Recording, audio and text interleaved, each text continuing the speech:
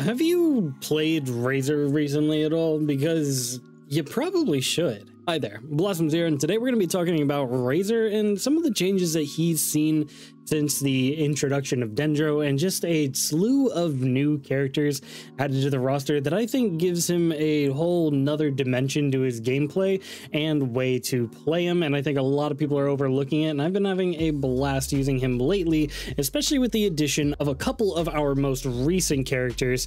I think Razor really fills the niche I was trying to fill since the introduction of Dendro, but couldn't do so because of our lack of Dendro characters. So I'll quit stalling and we'll we'll go ahead and get into it. But before you do, if you enjoyed this video at all, don't forget to leave a like and subscribe to the channel if you enjoy this kind of content. But let's go ahead and talk about Razor in the current game state.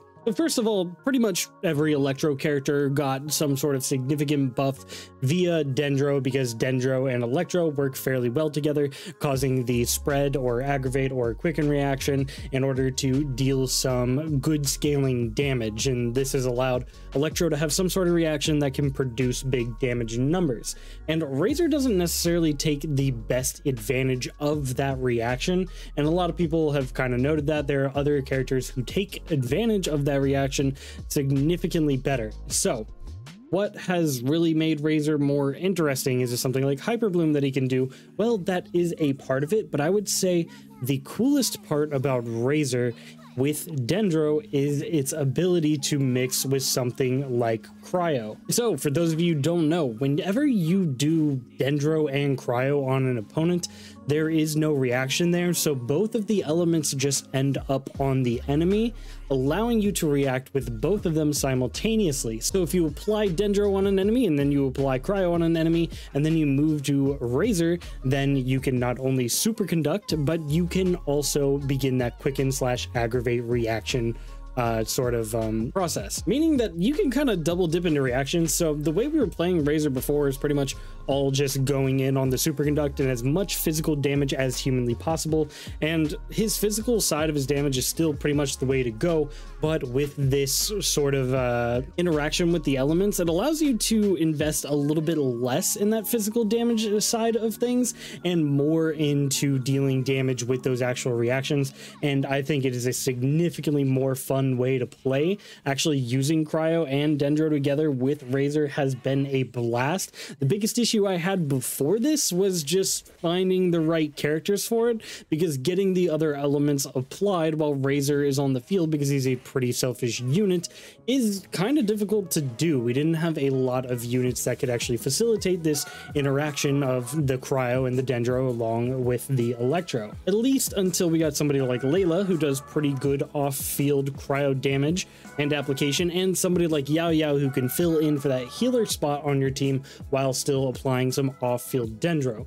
But these two characters in particular have made this much more of a reality. I've been toying with this sort of build for the past couple of updates actually, and it didn't quite feel there, but now with these two uh, characters, it feels significantly better. And I've got to tell you, the, the results, you've probably been seeing some of the gameplay on screen here, have been pretty awesome. I really like the way this actual team plays, and when you add a Hydro unit into the mix, it makes it even more fun because not only are you double dipping into aggravate and the uh, superconduct uh, for your razor, but when you add that hydro element, you're also going to be able to do things like hyper bloom, and you're also going to get like electro charge or something and freeze, which means you can also shatter with razor, um, which is pretty awesome as well. And I just like being able to do so many reactions with this kind of one idea, and it, it's a really fun way to actually play razor. Now, of course, you can just go full swing into the cryo and the dendro thing with razor. I think that is a totally viable and fine way to do things as well but I personally like adding a Hydro unit in there because it just adds that whole another dimension of being able to do so many more reactions.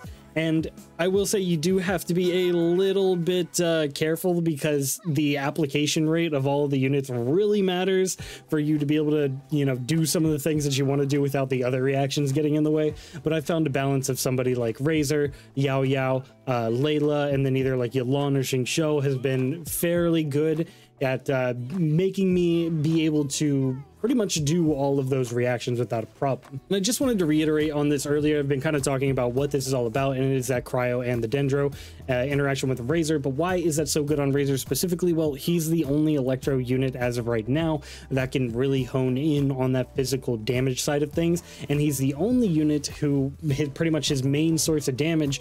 He does simultaneous physical damage and electro damage, allowing you to now deal that extra damage on aggravate with your elemental burst slash your elemental skill, but still be doing the uh, extra amount of damage that you were doing before because you're still getting things like superconduct. And Razor's literally the only unit who can fully take advantage of that in a meaningful capacity.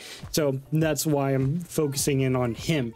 And not to mention, he's incredibly fun with Hyperbloom, by the way. I've been focusing on the Cryo and the Dendro thing, but I was mentioning Hydro, and he's really fun with Hyperbloom, mostly because you can hold his E skill for an AoE electro damage thing, and that's going to hit all of the cores around you, and that is actually so cool to do. Whenever you get a bunch of cores generated and you just hold his E skill to activate them all, it feels really, really good.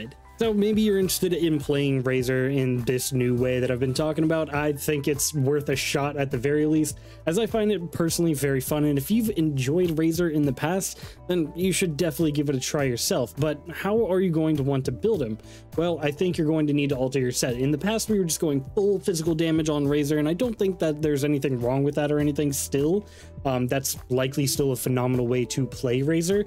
But now I'm personally taking a step back from the physical side of things, uh, doing less of the physical damage bonus, and realistically only having the goblet as the physical damage bonus because I want to hone in on that attack percentage and that elemental mastery side of things to add to his kit more when he's interacting with things like aggravate, things like the uh, shatter or the hyper bloom. Those are going to be dealing substantially more damage if you focus on something like elemental mastery, and the gilded dream set lends itself to that very, very well, allowing you to not only get attack uh, if you have uh, characters of the same type or something, maybe you want to just lean into the uh, cryo and the dendro thing, but it also increases your elemental mastery a ton if you have none of the same elements there. So that is going to be allowing your uh, reactions that you trigger with Razor to be dealing a ton of damage. And I think it's really cool.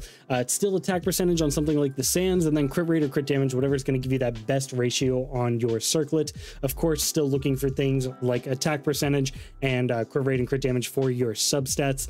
And that's pretty much the only change there. I wouldn't really recommend some of the other sets, like maybe the uh, the Hyper Bloom set or something. You could try that one. I don't think that's necessarily bad. Still gives you elemental mastery, and maybe just going double two-piece elemental mastery isn't too too bad. But I think the Gilded Dreams is really what makes switching up the build viable if you're going to play him this way.